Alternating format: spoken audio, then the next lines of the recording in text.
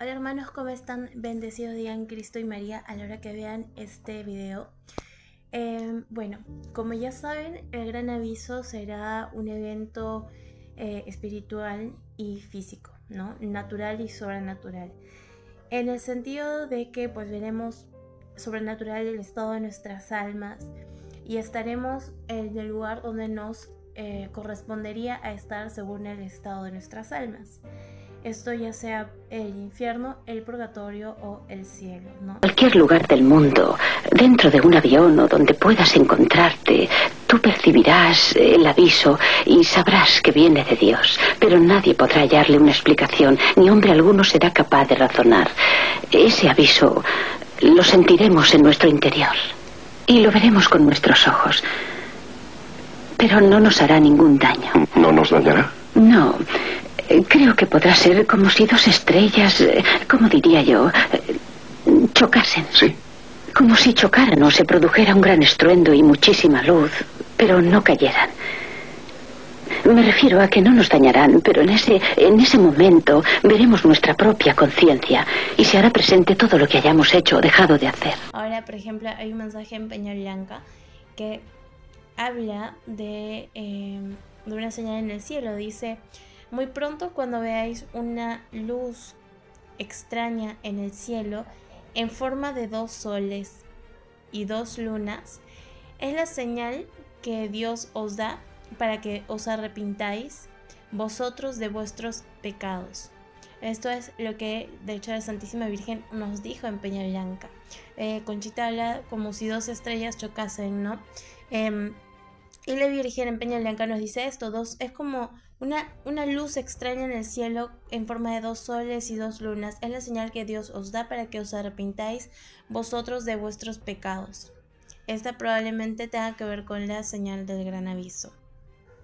Es por eso que los sacerdotes recomiendan mucho una confesión general, una confesión completa de toda nuestra vida para poder ir también reparando en el tiempo que tengamos el gran aviso los pecados que hemos cometido y las cosas buenas que hemos dejado de hacer. Entonces básicamente es esto. Ahora andrá con algún evento natural.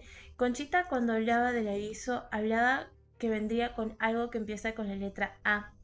Y yo obviamente creo que ella se refiere al, al astro del aviso que probablemente es lo que llegue a pues darse en el mismo momento del, de la iluminación de las conciencias. Se sabe que vendrá, eh, bueno, el gran aviso, según sabemos algunas profecías, detendrá la guerra, ¿no? Detendrá la guerra, una guerra que será corta, porque sabemos que si la tercera guerra mundial empezara, no sería larga porque el mundo no soportaría la, la, tecnología en el armamento que tienen ahora y además pues ellos saben que no pueden destruir el mundo entero porque eh, detrás de la guerra hay fines económicos, ¿no?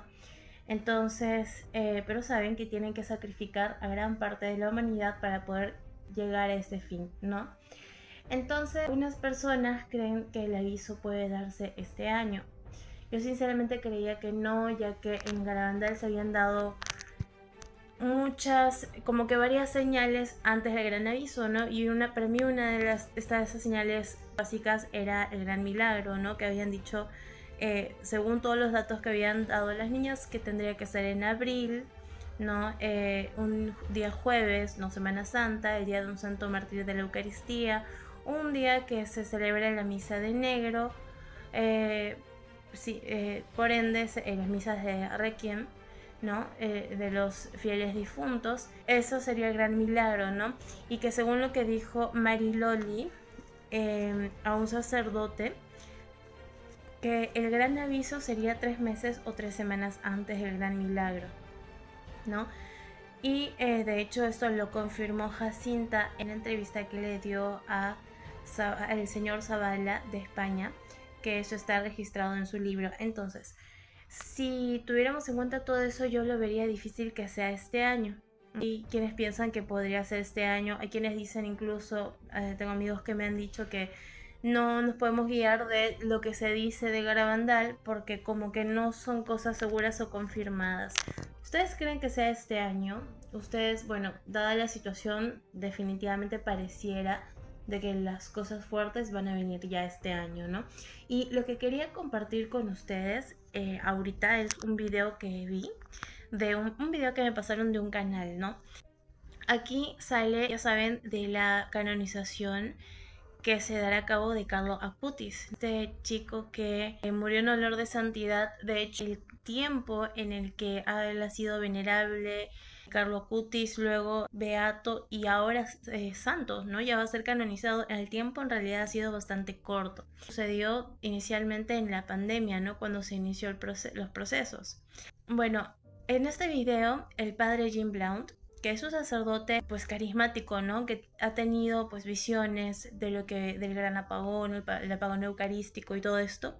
Dice que con cuando se canonice a este joven a Carlo Acutis, estará próximo el momento en el que el Espíritu Santo descenderá muy fuertemente en la humanidad. Y muchas personas consideran que él se refiere al gran aviso de Garabandal. ¿No? Vamos a reproducir a ver el video. And this young man, beloved, was a saint of the Eucharist. He's the one who converted his mom and dad to the Catholic faith and all of his family as well. Well, you know, he's now blessed, blessed Carlo. There have been quite a few miracles through the invocation of his name and prayer. St. Francis has been appearing to his mother, Mrs. Acutis, at night.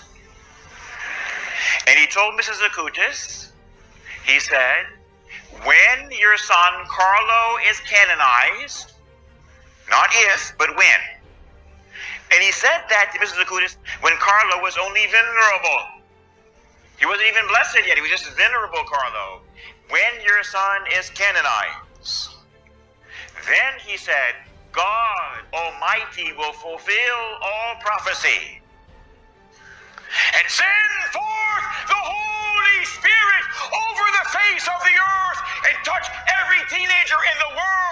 with sanctifying grace. Amen.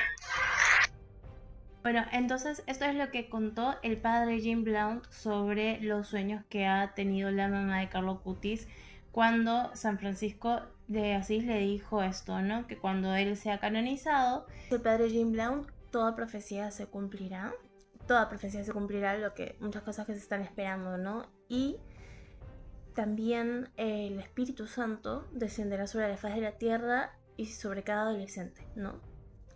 Entonces, ¿usted, ¿a ustedes les parece pura coincidencia de que ya vaya a ser canonizado? Piensan, hermanos, que esto tenga que ver, esta venida que él habla del Espíritu Santo, tenga que ver con el gran aviso que se está esperando.